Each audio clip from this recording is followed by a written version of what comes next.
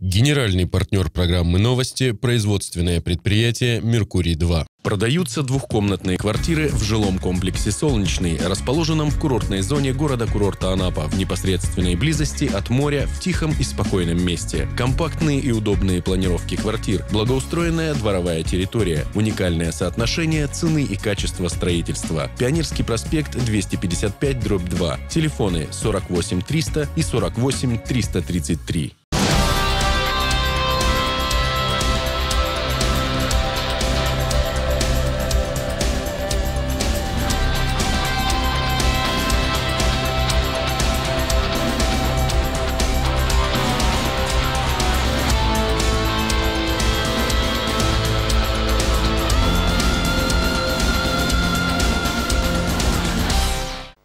Здравствуйте, в эфире программа «Итоги недели» в студии Кристина Рабина. Сегодня в выпуске. Цены на социальные продукты в ежовых рукавицах власти. Комиссии проводят жесткий мониторинг рынков по всей Кубани.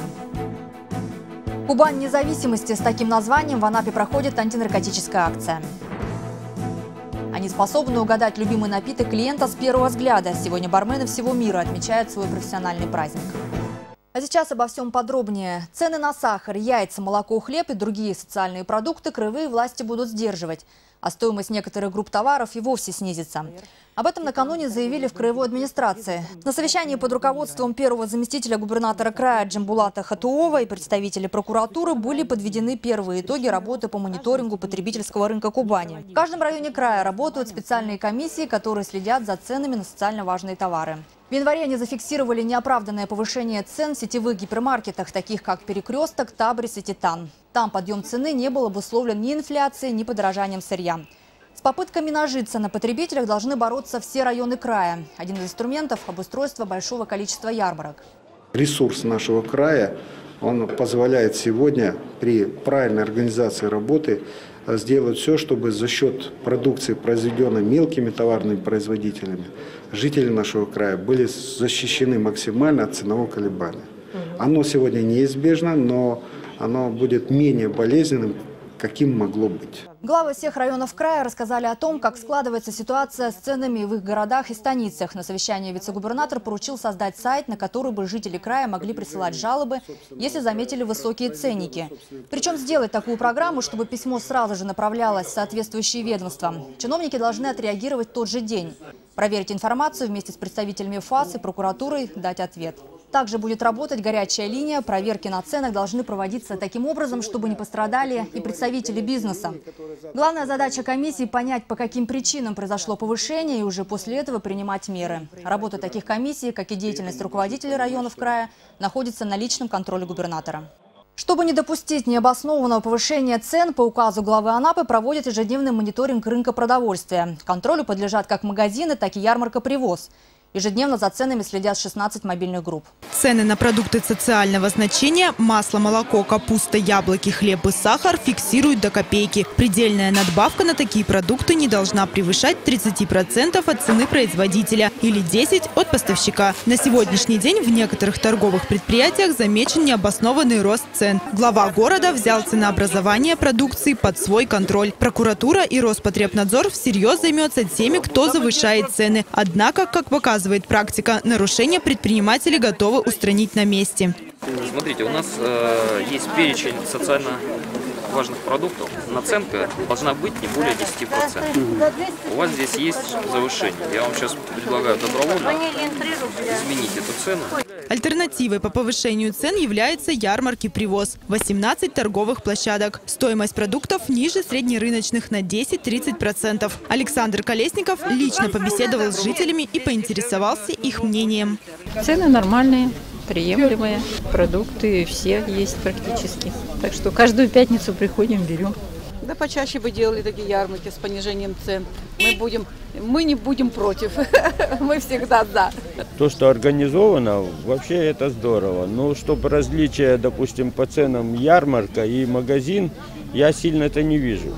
Лучше для нас, вот наша, когда приезжает наша ярмарка, продукцию привозят исключительно хорошую, свежую всегда, доброкачественную и вкусную. Кстати, по этому вопросу уже сейчас открыта горячая линия. Если вы заметили случаи завышения цен, можно прозвонить по телефону, указанному на стенде ярмарки для устранения данного нарушения или по горячей линии 580 47.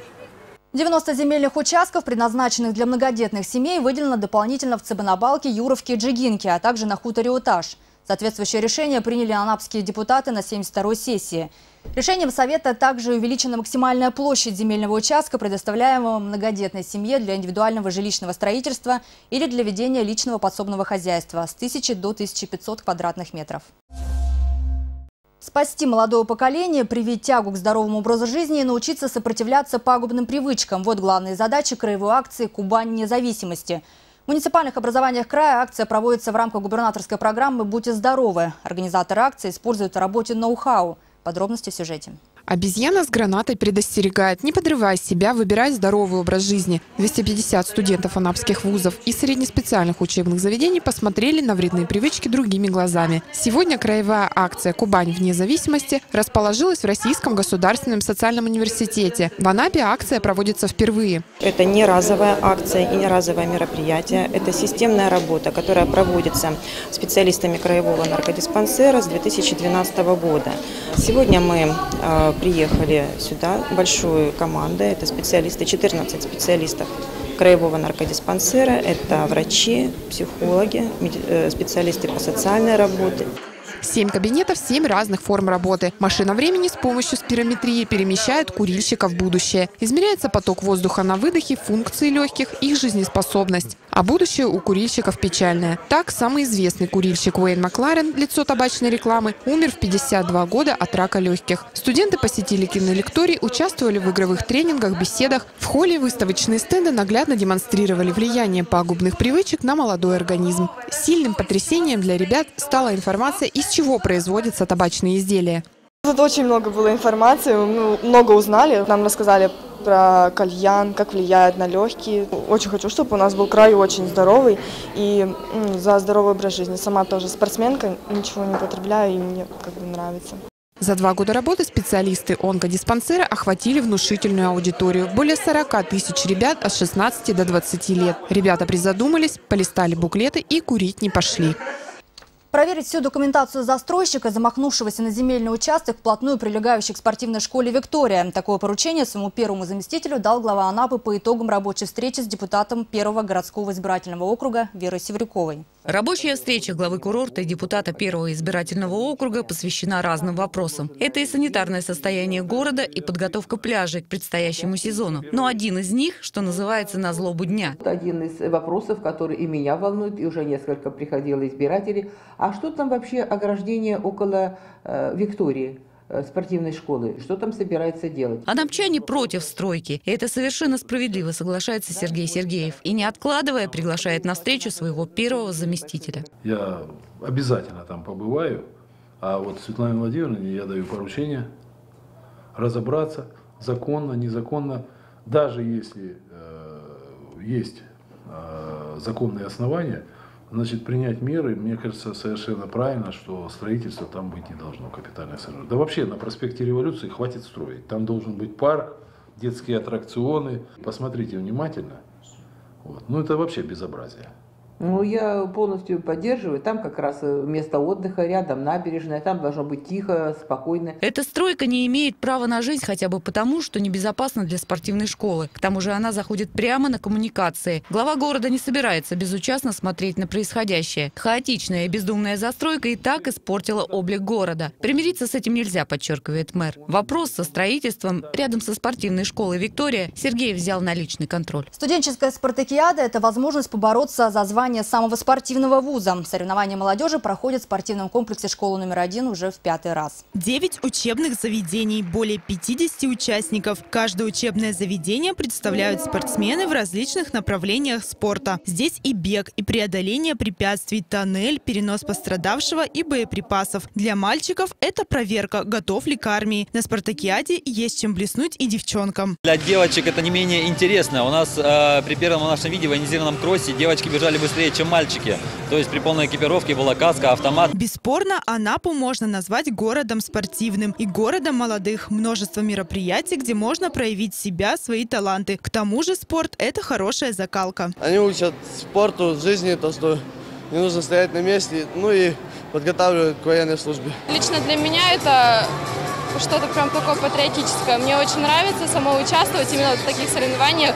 Они вызывают бурю эмоций. И я считаю, что каждый должен участвовать, так как, ну, во-первых, мы живем в России, и каждый должен гордиться своей страной. И это как бы доказательство того, то, что вот мы любим ее. Позади уже три этапа спартакиады. Все баллы суммируются и летом объявят победителей. Журналисты федеральных СМИ подготовили видеопроект о городах воинской славы. Фильм об Анапе смотрите на Первом канале 10 февраля 18.20 и 21.20 после выпусков новостей. И в продолжение выпуска встреча с гостем нашей студии.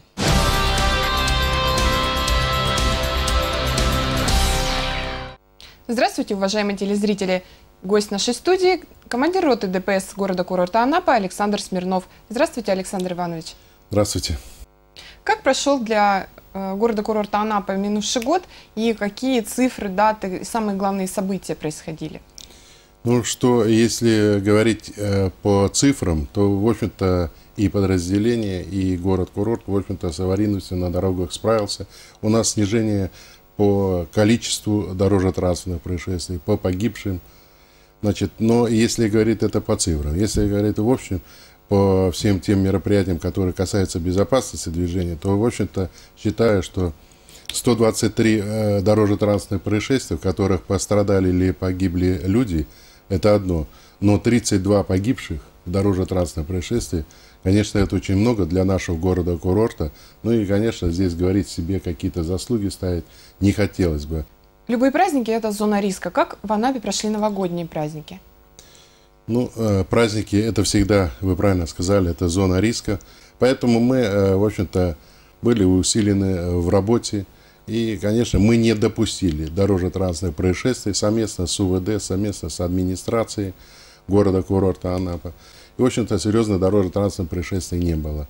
Ну, а что касается по пьяным, то, в общем-то, мы выявили 21 водителя, задержали за управление транспортом в состоянии опьянения.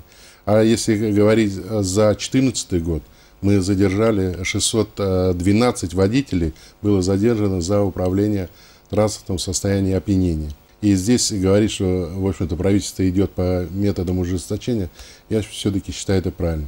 Потому что вот эти все послабления, особенно в этом направлении, э, в состоянии опьянения, конечно, здесь послабления быть не должно. А в этом году какие-то э, более жесткие требования и правила э, водителям, которые употребляют ну, алкоголь за рулем? Считаю, что это действительно мера правильная, потому что сегодня очень тяжкие последствия именно наступают тогда, когда водитель управляет транспортом в состоянии опьянения. Я считаю, что государство делает это правильно, проанализировав всю обстановку не только по городу курорта, а по всей стране. А обстановка, она очень тяжелая. Еще одно любимое нарушение автолюбителей – это превышение скоростного режима. Как обстоят у нас дела и как вы с этим боретесь? Ну, э, хочу сказать, что это не любимое, это, ну, в общем-то, для нас оно нелюбимое, потому что основная причина дорожно-транспортных происшествий, особенно тяжких, это э, превышение скорости. Вы видите, на дорогах появляется больше видеокамер, которые сегодня работают и не успевают печатать э, вот эти письма, их так называют в народе письма счастья. Значит, э, что касается нашего города, то практически все на сегодня видеокамеры, которые есть, значит, э, они включены. И сегодня э, все-таки это беспристрастный инспектор – которая сегодня работает в виде видеокамеры. И, в общем-то, он приносит свою пользу. И, может быть, и, скорее всего, это так и по краю, и по стране. В общем-то, вот эти видеокамеры, которые сегодня работают, свою, в общем-то, пользу приносят и дают э, снижение аварийности. Какая проблема на анапских дорогах стоит сегодня наиболее остро? Ну, наиболее острая проблема, как вы знаете, особенно э, в летний период, это наши пробки. А пробки сегодня это станица Анапская, въезд в город со стороны Анапской и въезд в станицу Анапская. И пробки на Чембурском кольце то же самое. Значит, что мы делаем совместно с администрацией? Вы э, э, знаете, что на сегодняшний день глава принято решение о строительстве сегодня подземного перехода в станице Анапской. И проектная сметная документация уже есть. Я думаю, к сезону этот вопрос тоже глава будет э, решен главой и э, будет уже легче. Почему? Потому что там в основном переходят пешеходы, и пешеходы сдерживают транспорт, и получается наполняемость э, транспорта и создается пробки, в том числе и по, ули, э, по Чембурскому кольцу. А какие-то профилактические мероприятия с подростками проводятся? Ну, у нас есть э, свои, э, в общем-то, подростки. Это и школа-интернат, и э, Суворо-Черкесская школа, и наша рядом по соседству с нами школа – Э, специальная школа. Поэтому мы сегодня проводим с ними работу. Ну и также наш инспектор по агитации и пропаганде встречаемся со школьниками, рассказываем о службе. На примерах в виде машинок рассказываем, как нужно переходить улицу, как нужно одеваться, а это самое, в общем-то, главное, считаю, это одежда, особенно в вечернее время, особенно в зимнее время. Это одежда, чтобы были какие-то светоотражающие ленточки, чтобы можно было увидеть ребенка. Ну и, конечно, проводим, хотя и родители обижаются, это кресло. Когда ребенок э, пристегнут, это более безопасно, чем он не пристегнут, когда он, извините, болтается по салону, бегает. А, в общем-то, родители не всегда это понимают, обижаются. Но это мы вынуждены делать не из-за того, что нам хочется это делать, а, из-за того, что мы видим анализ, и наш руководитель видит анализ, видит практику. Сегодня в студии у нас был командир роты ДПС города-курорта Анапа Александр Смирнов. До свидания.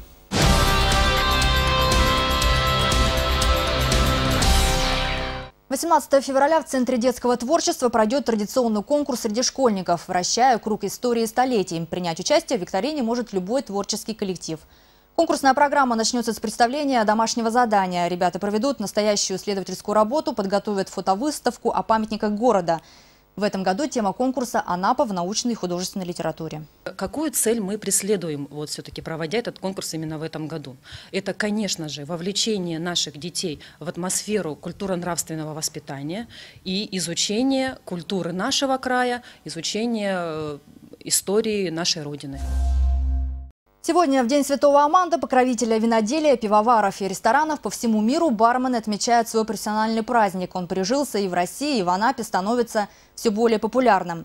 Опытные бармены с первого взгляда угадывают вкусовые предпочтения клиентов. За барной стойкой им порой приходится стоять до 20 часов. О секретах барменского искусства в нашем сюжете. Коктейль Куба который входит в белый ром, кола сок лайма. Смешать напитки и получить вкусный коктейль – целое искусство. Бармен – профессия исключительно творческая. В Анапе этой науке учат в Анапском колледже сферы услуг. Сегодня выпускная группа сдает экзамен на профпригодность. Константин Занин после девятого класса решил получить востребованную в городе-курорте профессию. Отучился на бармена-официанта-буфетчика. Люди именно этой профессии считают он неплохие психологи. Бармен общ... должен общаться. Люди приходят к нему, вот, он уже может подсказать что-то, что-то выбрать для них. Отучился сейчас, да. Ну, вот у меня есть планы работать барменом, то есть отдаться полностью именно за бар. Вот. Остаться, конечно, здесь, в городе. Красиво накрыть стол, художественно оформить салфетки – это малая часть того, что умеют выпускники колледжа. А уж пропорции самых популярных в мире коктейлей они обязаны знать на зубок. Очень востребованные на нашем курорте профессии готовятся сейчас. Эти 22 человека будут востребованы, потому что уровень подготовки довольно высок. Тончайший элемент приготовления коктейлей – лед. Его используют для охлаждения бокала или самого напитка. У ассоциации барменов 60 рецептов коктейлей, но всегда можно экспериментировать. Главное, чтобы клиент был доволен. Первым делом бармен должен предоставить стекло, что оно у него идеально чистое. Да. Вторым делом показать весь процесс, тем самым приманив гостя к барной стойке. Да? Ну а дальше все ингредиенты смешиваются уже по технологии. Все коктейли по-своему сложные. То бишь, э, будь то наслаивание, смешивание, Все, главное иметь именно представление о процессе приготовления. Бармен знает секрет хорошего настроения. На вкус. Он по памяти должен знать вкусы всех коктейлей. Кстати, по международным правилам, любой коктейль должен содержать не более 60 мл алкоголя и 5 ингредиентов, включая специи и битеры. Но главный секрет – любить свою работу.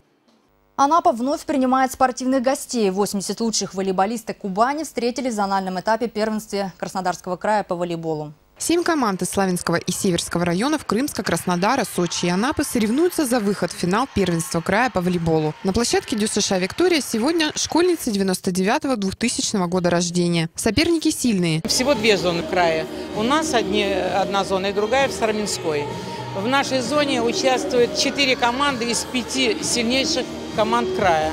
Это команда Краснодара, команда Крымска, Северского района и лидер, я так надеюсь, лидер э, первенства команда Анапы. В прошлом году анапчанки стали победителями первенства. Нынешний спортивный сезон для волейболиста Анапы начался успешно. В данных соревнованиях мы участвуем двумя командами. Девчонки младшего, вот, которые здесь играют, они просто получают игровой опыт. У них два поражения на сегодняшний день. Ну, в принципе, они стараются, играют. А основная команда идет без поражений. Они уже вышли в финал первенства Краснодарского края. Я думаю, что они бороться будут здесь за первое место. Финалисты первенства войдут в состав краевой сборной по волейболу.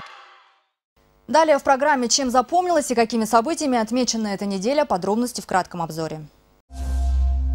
Анапа вошла в число пяти муниципалитетов Краснодарского края, где реализуется программа «Доступная среда». Требование губернатора – создать комфортные условия для полноценной жизни людей с ограниченными возможностями здоровья и маломобильных групп населения. Суцевская спортивная школа номер один – одна из первых в Анапе, где реализовали этот проект. На полтора миллиона рублей школу оснастили специальным оборудованием, перестроили архитектуру здания, увеличили входной тамбур, приобрели портативный подъемник для инвалидных кресел, благоустроили прилегающую территорию, уложили тактильную плитку.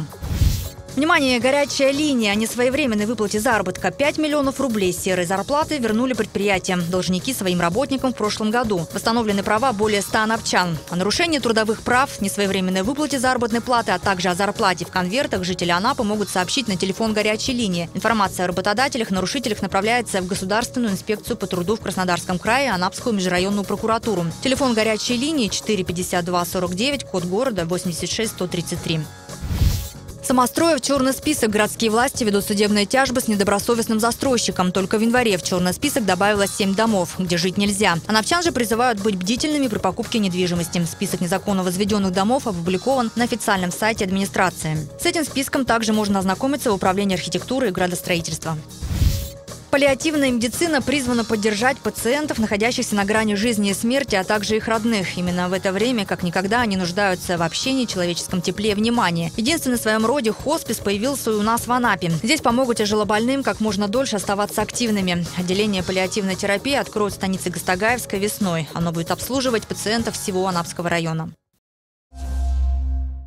Это все новости на сегодня. Партнер программы – производственное предприятие «Меркурий-2». Эти и другие новости вы можете найти на нашем сайте и в социальных сетях. А я с вами прощаюсь. Приятных вам выходных и до встречи. Генеральный партнер программы «Новости» – производственное предприятие «Меркурий-2».